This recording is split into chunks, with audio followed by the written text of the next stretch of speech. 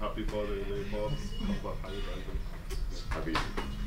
لم يلق هذا الشاب كلمات كافية ليعبر لوالده عن مدى حبه له في عيد الأب فتكفل عناقه بالتعبير. عيد الأب. ما سامعين نحن إنه في عيد للأب؟ يعني هلأ عم بسمع منك يعني أكيد بكرة إن شاء الله بنعيده شو بكون أهضم ناس أنتم ال Future. قولوا لي شو بدكم؟ بكرة 21 حزيران بيعني لك شيء هيدا اليوم؟ عيد البي. يعني بدي اضرب ايدي على جايبة الليلة بدي اعطيهم المصريات لاولادي ليجيبوا لي cadeau بكرة. هي Father's Day Father's Day تهدي لبيك عادة بعيد لا. جبت له كارت. بكرة 21 حزيران بيعني لك شيء هيدا اليوم؟ لا ليه؟ عيد الأب. ما تقول له لبي بشرفك.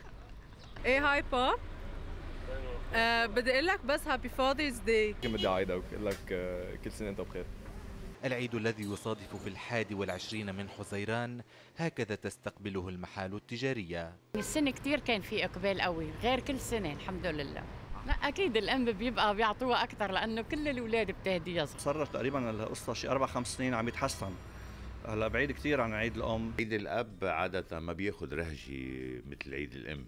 ما بعرف ليش. لا ما ما في إقبال يعني. وقد ظهرت فكرة الاحتفال بعيد الأب في الولايات المتحدة العام 1909 لكنه لا يعتبر عيدا رسميا في لبنان.